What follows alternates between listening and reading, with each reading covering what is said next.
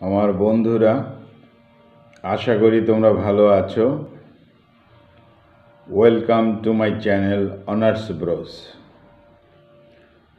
আজকে আমাদের আলোচ্য বিষয় একটি নভেল শর্ট নভেল নভেলা এই শর্ট নভেলের নাম the old man and the sea the old man and the sea written by Ernest Hemingway.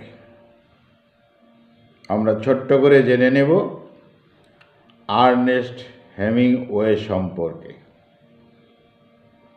তার ফুল নাম ছিল আর্নেস্ট মিলার হ্যামিংওয়ে। তিনি ছিলেন একজন আমেরিকান নভেলিস্ট। তিনি ছিলেন আমেরিকান শর্ট স্টোরি রাইটার এবং একজন journalist. He had a strong influence on the twentieth century fiction তিনি জন্মগ্রহণ করেছিলেন ওক পার্ক ইউনাইটেড স্টেটস তিনি পুলিৎজার প্রাইজ এবং নোবেল প্রাইজে পুরস্কৃত হন। তাহলে, আজকে আমাদের আলোচ্য বিষয় novel short novel novella the old man and the sea অর্থাৎ বৃদ্ধ মানুষটি এবং সমুদ্র। এই নভেলের মধ্যে আমরা দুটি বিশেষ চরিত্র পাব। প্রথম চরিত্র, মুখ্য চরিত্র, প্রধান চরিত্র একজন বৃদ্ধ মানুষ, যার নাম সান্তিয়াগো। সান্তিয়াগো যথেষ্ট বৃদ্ধ, যার কাজ সমুদ্রে মাছ ধরা। তিনি একজন কিউবান ফিশারম্যান। Cuban fisherman. আর দ্বিতীয় চরিত্র ম্যানোলিন। ম্যানোলিনকে পাবো আমরা কম বয়সের ছেলে,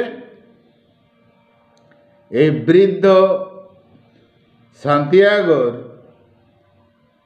মাছ ধরা শেখার শিষ্য।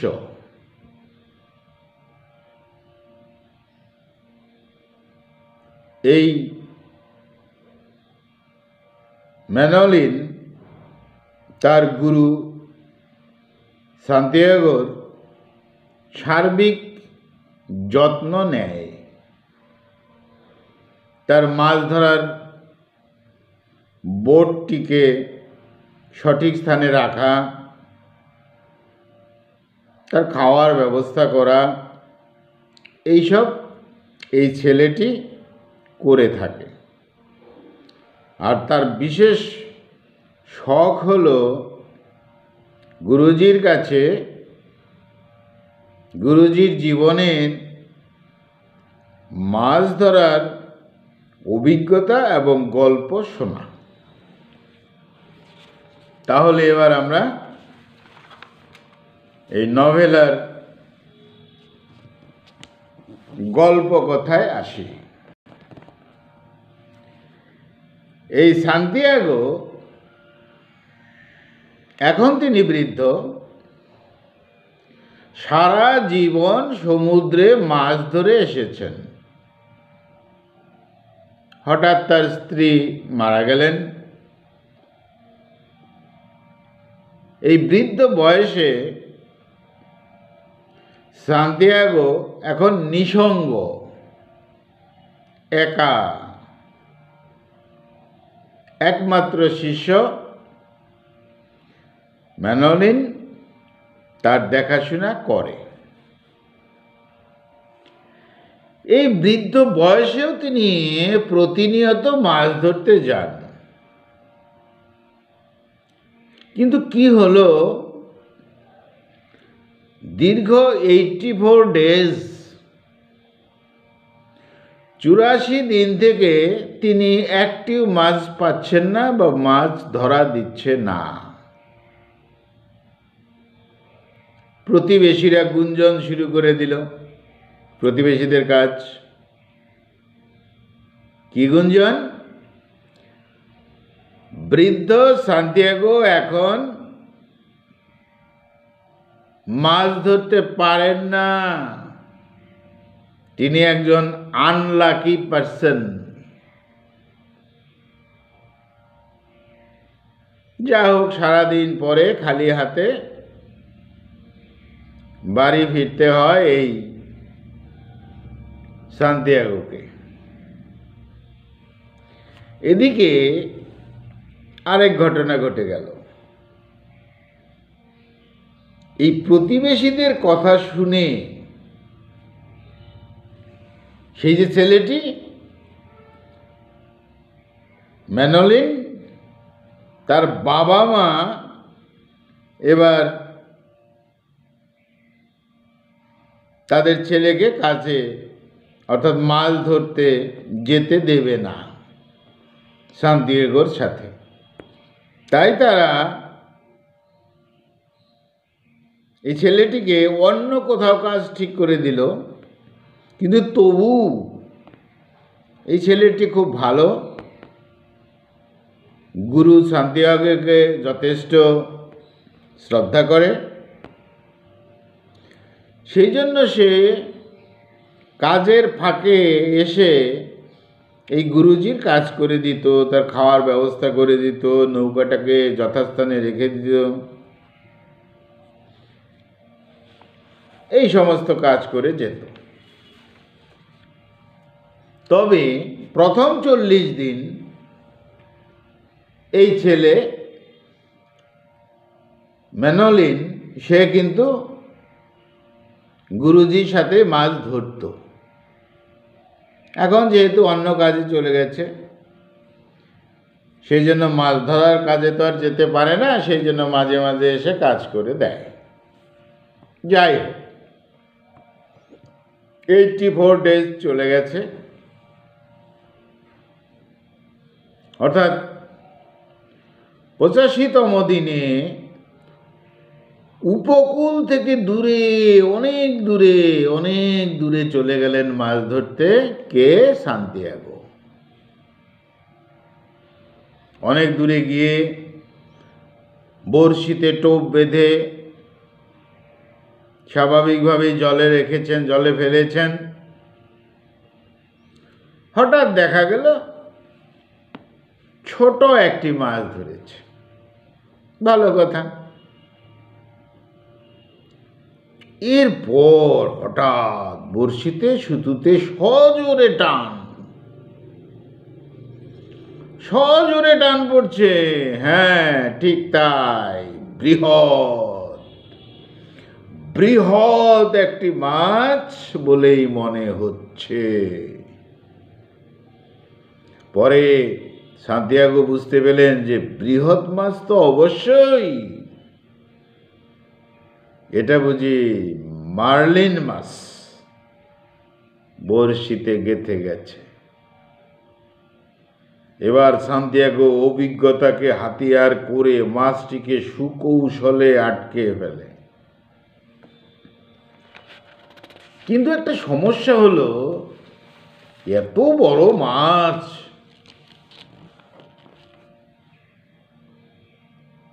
বোটে বা নৌকায় তুলবে কেমন করে?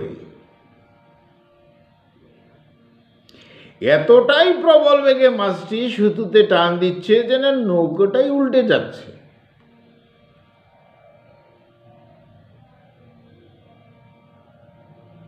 যেন সান্দিয়াগোকে টেনে টেনে জলে ফেলে দেবে। অনুমান করা গেল প্রায় আঠারো ফুট লম্বা এই মাছ। কি করে এবার বোটের সাথে বাঁধবেন কিংবা নৌকায় তুলবেন? যাই হোক, সান্তিয়াগো সুকৌশলে মাছটিকে দুর্বল করার চেষ্টা করছে। অর্থাৎ সুতুকে ছেড়ে দিচ্ছে, আবার টেনে নিচ্ছে, ছেড়ে দিচ্ছে, টেনে নিচ্ছে, এইসব করছে। বৃদ্ধ মানুষটির হাত কেটে গেল। সুতুর টানে। আর এই মাছ কি করল? নৌকাটিকে দূরে দূরে দূরে টেনে নিয়ে চলে যাচ্ছে। এইভাবে মাছটি সারা রাত, সারা দিন, পরের দিন পর্যন্ত সাঁতার কাটতে শুরু করল, ছোটাছুটি করতে শুরু করেছে। শান্তিয়াগর স্বাভাবিকভাবে খাওয়া দাওয়া নেই। এক দৃষ্টিতে মাছটিকে ধরার প্রয়াস চালাচ্ছেন। যেন মনে হচ্ছে যে সান্তিয়াগো এবং মাছটির মধ্যে যুদ্ধ হচ্ছে। মানুষে আর মাছে যুদ্ধ হচ্ছে। কিন্তু কোনোভাবেই তো সান্তিয়াগো হেরে যাবেন না। রক্তাক্ত হাতেই সুতো টেনে চলছে। তৃতীয় দিন মাছটি বেশ দুর্বল হলো বলে মনে হচ্ছে। তুলনামূলকভাবে কম ছুটোছুটি করছে। আর এই সুযোগ বুঝে মাছটিকে নৌকার কাছে নিয়ে আসে এবং আসতে পারলেন। মাছটিকে নৌকার কাছে নিয়ে আসতে পারলেন। আর নৌকার কাছে আসতেই হারপুন বা বর্ষা দিয়ে মাছটিকে আঘাত করা হয়। মাছটি আরও দুর্বল হয়ে যায়। এবার বোটের পাশে, অর্থাৎ নৌকার পাশে মার্লিন মাছটিকে বেঁধে ফেলতে পারলেন, কারণ মাছটি ভেসে উঠেছে। একেবারেই দুর্বল হয়ে গেছে। শান্তিয়াগো তো দেখে অবাক। বাপরে বাপ, সারা জীবনে এত বড় মার্লিন মাছ তিনি দেখেননি। এ জীবনের প্রথম।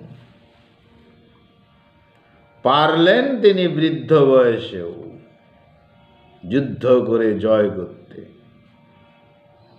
যাই হোক, এবার স্বস্তি, মাছ ধরা গেছে। এবার তিনি বাড়ি ফিরবেন। হি ওয়াজ ভেরি এক্সাইটেড স্বাভাবিক, হওয়ারই কথা। কিন্তু সমস্যা আরেকটা শুরু হয়ে গেল। হারপুন বা বর্ষা দিয়ে এই মার্লিন মাছটিকে যখন আঘাত করেছিল, মাছটি তখন রক্ত স্বাভাবিকভাবে জলের মধ্যে মিশে যায়। আর এই মাছের রক্তের গন্ধে হাঙ্গর। হাঙ্গররা আকৃষ্ট হয়ে পড়ে। এবার হাঙ্গর আসতে শুরু করে।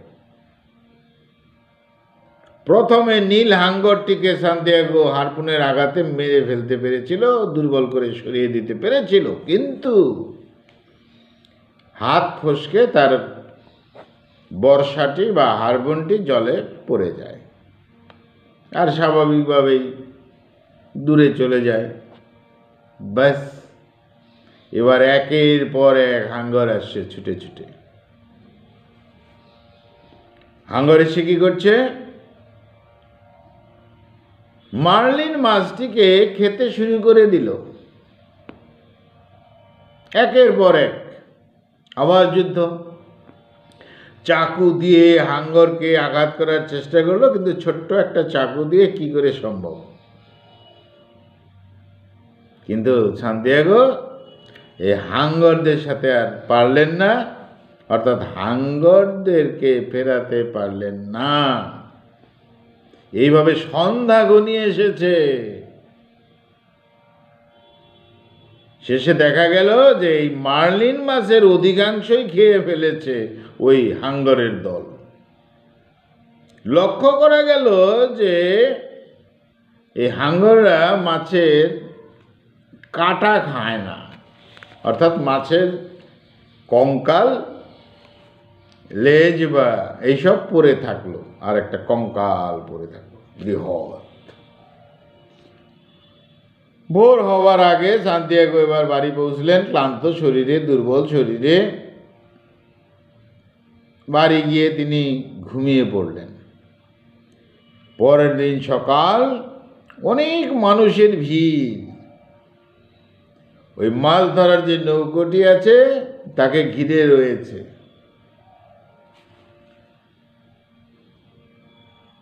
তারা মাছের কঙ্কাল দেখে তো অবাক, এত বড় মাছ। সান্তিয়াগো এখন লাকি দেখা যাচ্ছে। কেউ কেউ আবার অতি উৎসাহে বলল যে এটা মাছ নয়, হাঙ্গর মনে হচ্ছে। তার মানে হাঙ্গর ধরেছে। যাই হোক খবর পেয়ে গেছে সেই ছেলেটি, শিষ্য। ম্যানলিন সে খাবার নিয়ে এসেছে। গুরুজিকে খাবার দেয়, তার চোখে আনন্দে অশ্রু। এবার ছেলেটি, অর্থাৎ ম্যানলিন ভাবল এবার থেকে আর অন্য কাজ নয়, আমি এবার গুরুজির সাথেই মাছ ধরতে যাব। আর অন্য প্রতিবেশীদের মধ্যে অনেকেই স্থির করল যে তারাও এবার সান্তিয়াগোর সাথে মাছ ধরতে যাবে।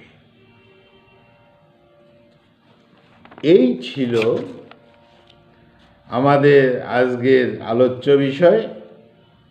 Novella the old man and the sea এই সান্তিয়াগো তার বৃদ্ধ বয়সের প্রয়াস, বৃদ্ধ বয়সের জয়, হেরে যাওয়ার নয়, তিনি হারেননি। এবং প্রতিবেশীদের যে গুঞ্জন ছিল তিনি আনলাকি সেটাও তিনি ভেঙে দিতে পেরেছেন।